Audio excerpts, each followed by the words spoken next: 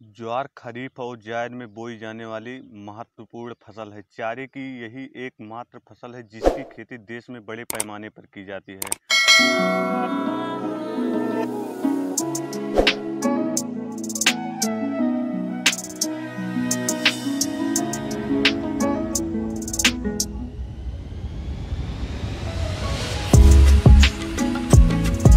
ज्वार का हरा चारा बहुत ही पौष्टिक होता है और इसे बस बड़े चाव से खाते हैं। ज्वार का जन्म स्थान अफ्रीका माना जाता है, लेकिन कुछ विद्वानों का मत है उत्तरी भारत ही ज्वार का जन्म स्थान रहा होगा।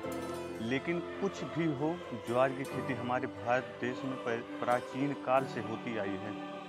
हमारे भारत देश में ज्वार की खेती संसार के अन्य देशों की अपेक्षा सर्वाधिक क्षेत्रफल में होती है।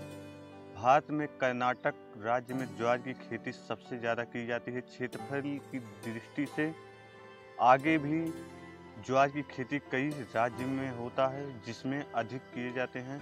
उत्तर प्रदेश, मध्य प्रदेश, राजस्थान, ऐसे तमाम राज्य हैं जहाँ पर पर ज्वार की खेती सबसे ज़्यादा मात्रा में की जाती है। हमारे प्रदेश में झांसी मंडल में ज्वार की खेती बहुत अधिक क्षेत्रफल में की जाती है।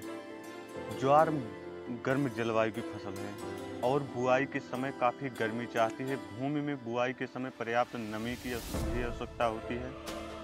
30 से 100 सेंटीमीटर तक वर्षा वाले क्षेत्रों में ज्वार की खेती सफलतापूर्वक की जा सकती है। जहाँ पर 30 सेंटीमीटर से लेकर 100 सेंटीमीटर तक वर्षा हो, वहाँ पर ज्वार की सफलतापूर्वक खेती की जा सकती है। ज्वार की खेती मैदानी भागों में सर्वोत्तम होती है। ज्वार की खेती अधिकांशतः खरीफ ऋतु में की जाती है। इसमें भी तीन प्रकार की जातियाँ पाई जाती हैं। जैसे संकर जातियाँ, संकुल जातियाँ और देसी जातियाँ। संकर यानी हाइब्रिड जातियाँ। ज्वार के लिए दोमट भूमि सर्वोत्तम रहती है। ज्वार के लिए जब भी ज्वार की बुआई की जाए तो मिट्टी की जाँच के आधार पर की जाए। ज्वार की बुआई के लिए ऐसी भूमि को छटनी करनी चाहिए जिसमें पानी ना रुकता हो। नहीं तो फ़सल सूखने लगती है। ज्वार की बुआई एक दो बार खेत की अच्छी तरह से जुताई करके उसके बाद बुआई कर सकते हैं आप। अगर जिस खेत में ज्वार की बुआई करनी है, उस खेत में पानी की मात्रा ना रुकती हो और एक दो बार जुताई करने के बाद उसमें जो है गोबर की सड़ी हुई खाद डालें, जिससे कि उपज हमें अधिक से अधिक मिल सके। ज्वार की बुआई जब भी की जाए तो उसमें खाद एवं उर्वरक ज़्यादा बहुत कुछ नहीं डालना है, लेकिन एक दो बार यूरिया अवश्य देते रहना चाहिए। ज्वार में जैविक खाद का उपयोग अधिक नहीं करना चाहिए, जिससे पानी सूखने की क्षमता खेत में बढ़ जाती है और जिससे सिंचाई बार बार करनी पड़ती है। कहीं कहीं पर इस फ़सल को अनाज के लिए उगाई जाती है। अनाज के लिए बुआई की गई फ़सल को लाइन में बुआई करना चाहिए, जिससे पौधे विकास वृद्धि तेज़ी से करें और पौधे मोटे हों, जिससे अनाज भी मोटे हैं और उपज की मात्रा में विकास वृद्धि तेज़ी से हो और अधिक से अधिक हमें उत्पादन मिल सके। ज्वार की बुआई जून के अंतिम सप्ताह से लेकर जुलाई के प्रथम सप्ताह तक का समय सबसे अच्छा माना जाता है। अगर दाने के लिए बुआई की जा रही है तो फ़सल को बुआई समय से करनी चाहिए और यही सबसे अच्छा बुआई का समय है। लेकिन अगर चारे के लिए ज्वार की बुआई की जा रही है तो फ़सल की बुआई मई जून में की जा सकती है। ज्वार की बुआई अगर जून जुलाई में की जाती है तो फ़सल की सिंचाई सबसे ज़्यादा आवश्यकता पड़ती है। ज्वार की फ़सल को अगर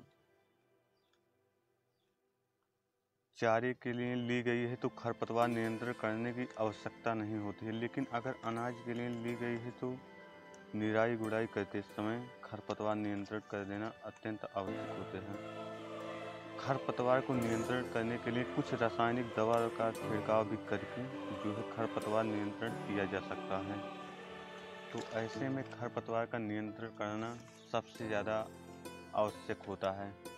मक्का के समान ज्वार की फ़सल को भी दाने पड़ते समय रखवाली करने की आवश्यकता होती है। अगर दाने के लिए बोई गई है फ़सल तो जो है उसे रखवाली करने की आवश्यकता पड़ती है। तो इसलिए उसे रखवाली करते रहना चाहिए। अगर अनाज के लिए ज्वार की बुआई की गई है तो फ़सल की कटाई नवंबर दिसंबर में कर लेना चाहिए। अगर हरे चारे के लिए बुआई की गई है तो फ़सल को बुआई के दो महीने बाद से कटाई शुरू कर देना चाहिए। आवश्यकता अनुसार चारे की फ़सल की कटाई धीरे धीरे की जाती है और कुट्टी में काट कर पशुओं को खिला दिया जाता है।